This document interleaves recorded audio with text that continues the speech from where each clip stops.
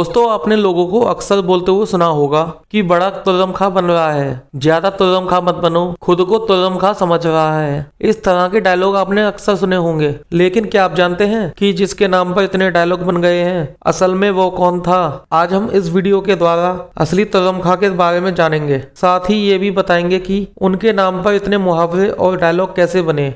असली नाम था तुर्रेबाज खान। तुर्रम खा का असली नाम तुर्वेज खान था। आपको जानकर हैरानी होगी कि तुरम खां कोई मामूली शख्स नहीं था, बल्कि 1857 में भारतीय स्वतंत्रता संग्राम की पहली लड़ाई के जाबाज हीरो थे। मंगल पांडे ने बैरकपुर में जिस आज़ादी की लड़ाई की शुरुआत की थी, हैदराबाद में उसका नेतृत्व तुरम खां ने किया था। 1857 के स्वतंत्रता संग्राम में किया था हैदराबाद नेतृत्व।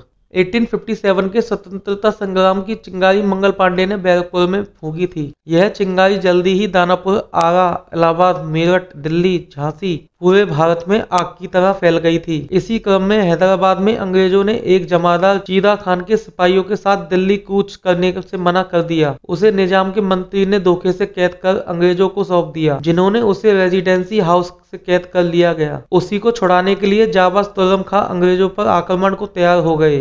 17 जुलाई 1857 की रात को तुर्रम खान ने 500 स्वतंत्रता सेनानियों के साथ रेजिडेंसी हाउस पर हमला कर दिया। रात में ही कर दिया अंग्रेज़ों पर हमला। तुरम खान ने रात को हमला इसलिए किया क्योंकि उन्हें उम्मीद थी कि रात में अचानक हमले से अंग्रेज़ हैरान रह जाएँगे और उन्हें जीत हासिल होगी। लेकिन उनकी इस उम्मीद और योजना एक गद्दार ने फेल कर दिया। दरअसल निज़ाम के वज़ीर सालारंजन ने गद्दारी करते हुए अंग्रेज़ों को पहले ही सूचना दे दी थी। अंग्रेज़ पूरी तरह से तुर्रम खां के हमले के लिए तैयार थे और हज़ारों सिपाही बंदूक भरकर तुर्रम खां और उनके साथियों का ही इंतज़ार कर रहे थे।